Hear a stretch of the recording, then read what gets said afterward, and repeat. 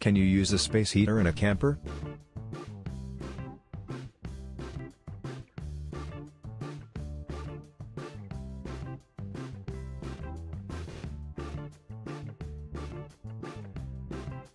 A space heater is a quick fix, but can you use it in a camper?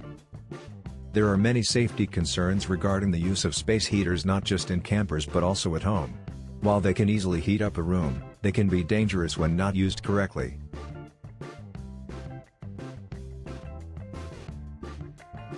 With proper practices, however, they can be very convenient in helping you keep warm.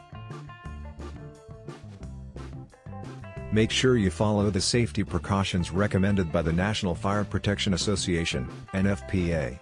If not, there are other heating options to consider which may be safer according to your preference.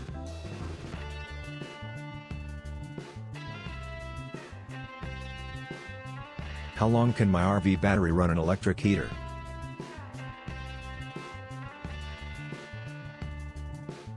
While a majority of the RVs in the market have built-in propane heating systems, many RVers have switched to electric heaters because they are more efficient and economical.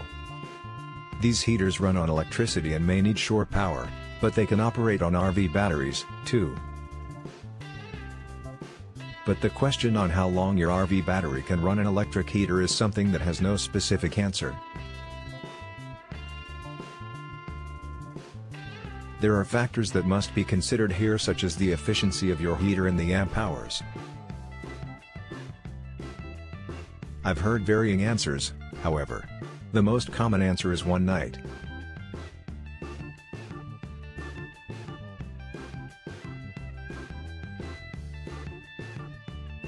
One suggestion was to test your electric heater in the driveway to see how long it operates off the RV battery.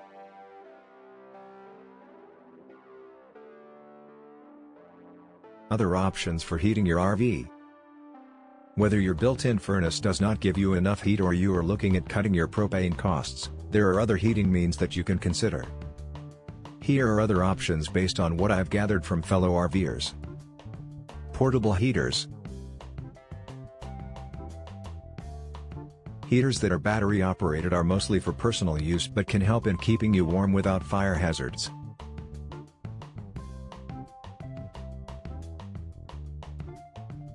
Heat pumps take the heat from the outside and move it inside the RV where it's needed. Wood stove A wood stove is also a good alternative. It will give you almost the same heat but with smaller space required.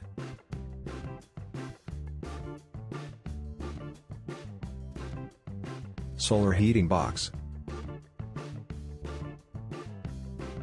If you prefer to go green and leave less carbon print, then go for solar heating boxes. You can even make your own. These boxes collect heat and transfer it inside the RV via convection. How to heat an RV without electricity. Here are other ways you can warm up your RV without the use of heaters. Get as much direct sunlight as you can and position your largest window towards the sun to get added heat. Insulate your windows, vents, and underbelly. If insulating your underbelly is a challenge, install a skirting instead. Cover the floor with carpets or rugs. Cover the screen door with plastic wrap or shrink plastic. Make sure there are no leaks and gaps to prevent the cold air from coming in. How to heat an RV in the winter. The extreme cold can be a burden and some RVers consider winter as a hibernation period for camping. But that shouldn't be the case. Along with other tips already mentioned, here are more ways to heat your RV in the winter. Invest in a secondary heat source. Oil-filled electric heaters are popular alternatives to space heaters as secondary heat. They are safer and noise-free.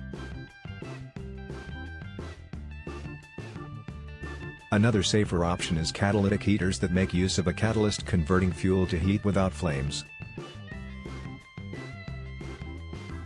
Make use of insulated snakes. Insulated snakes are stuffed cloth tubes that are placed at the bottom of the door to keep cold air from entering. These are usually used in traditional homes but work well in RVs, too. Keep your internal plumbing warm.